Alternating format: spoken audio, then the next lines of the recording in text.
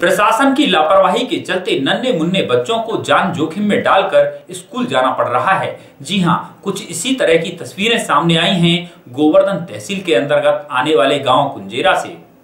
गोवर्धन तहसील के अंतर्गत आने वाले गाँव कुंजेरा गाँव के लिए बने अंडरपास में जल भराव होने की वजह से स्कूल के बच्चों को रेल की पटरियों के ऊपर से होकर जाना पड़ रहा है, या फिर बच्चों को अंडरपास में भरे गंदे पानी में होकर जाना पड़ रहा है। वहीं जब स्कूली बच्चों से बात की गई तो उन्होंने बताया कि वे मजबूरन गंदे पानी में होकर जाते हैं, क्योंकि ऊपर से अगर जाएँगे तो रेल हादसा भी हो सकता है। क्योंकि इससे पहले कई दुर्घटनाएँ हो चुकी हैं, जिनमें कई लोग अपनी जान गंवा चुके हैं। जबकि इसकी कई बार शिकायत ग्रामीणों द्वारा की जा चुकी है, लेकिन किसी भी प्रशासनिक अधिकारी ने इस समस्या को संज्ञान में लेने की जहमत तक नहीं उठाई।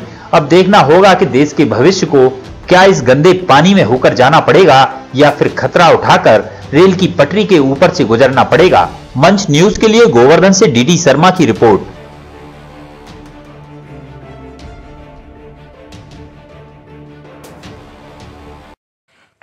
क्या नाम है बेटा आपका? रवि। आप कौन से स्कूल के स्टूडेंट हैं? हमें हम गौरदाम के। कौन से गाँव के रहने वाले हो? कुंजेरा।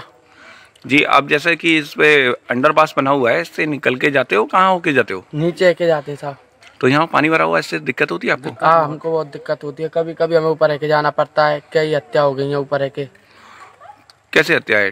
ट्रेन से दुर्घटना है? ट्रेन से हो गई दुर्घटना उनकी। तो आपको डर नहीं लगता उससे ऊपर होके जाते हो तो? लगता है पर जाना पड़ता है। तो इसकी शिकायत कभी प्रशासन वगैरह से की आप लोगों ने? हाँ आपके घर वाला? मगर कोई सुनवाई नहीं हुई? नहीं हुई।